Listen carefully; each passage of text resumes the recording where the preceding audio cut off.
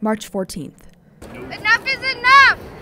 Schools across the country participated in a 17 minute long walkout to honor the victims of the recent Parkland shooting and, in many cases, push for law reform. Here at GBN, the road to a walkout was a rocky one. Once the national movement began taking shape, we had many GBN student leaders step forward. It was a really big challenge at first because I feel like the Glenbrook North community hasn't really done a lot of things similar to this. The district's initial email to the community about the walkout caused a bit of a stir, with the information about how student absences would be handled differing from what was previously told to student leaders. Many community members were angered and confused. On the Friday before the march, I got an email from the school district saying that students would be penalized for participating in the march.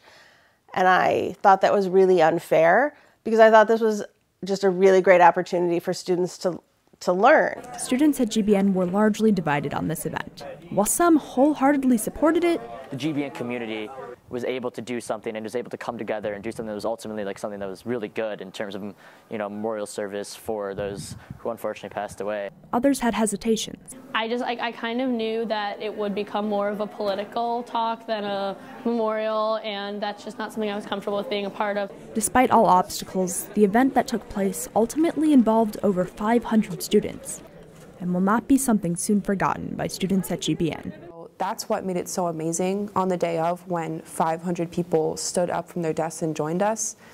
That's what made it so touching. Like when we stood up there and we looked out on the crowd and we saw that many people. For Cam Glass and Rohan Dixit, I'm Allanah Elster, Spartan News Now.